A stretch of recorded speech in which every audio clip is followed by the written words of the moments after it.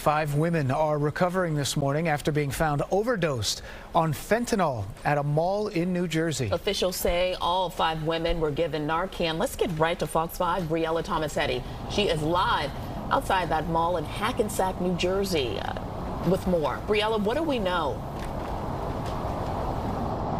Yeah, Tashanea and Dan, we're still learning more pretty much every minute. So many unconfirmed details to look into. But this was such a terrifying situation for shoppers here at Riverside Square in Hackensack, minding their own business when they saw police cars, ambulances, and basically trying to figure out what may have happened. We know that uh, this happened on Wednesday evening last night at around 5:30. Those 911 calls started coming in, and reports indicated that there were multiple unconscious women on the bottom level of this parking garage that my uh, photographer is zooming into right now. Initial reports again indicate Hackensack police found all of the women who were employees here displaying overdose symptoms.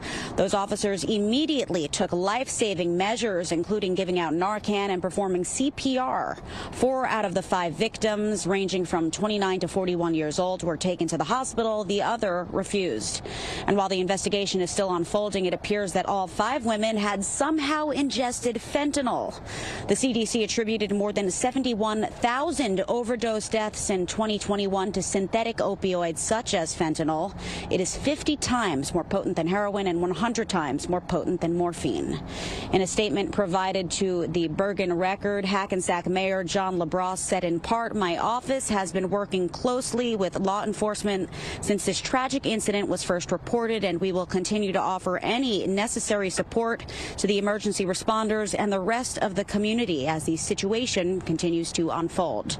Hackensack Police Captain Michael Antista added, we want to ensure the community that we are already in the process of thoroughly investigating this matter to find the source of this dangerous substance and will do everything within our power to prosecute those responsible to the fullest extent of the law.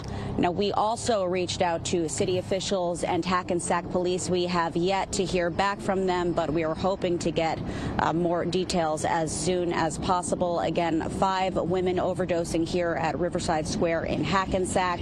The Bergen County Prosecutor's Office and Sheriff's Office are both also investigating the situation.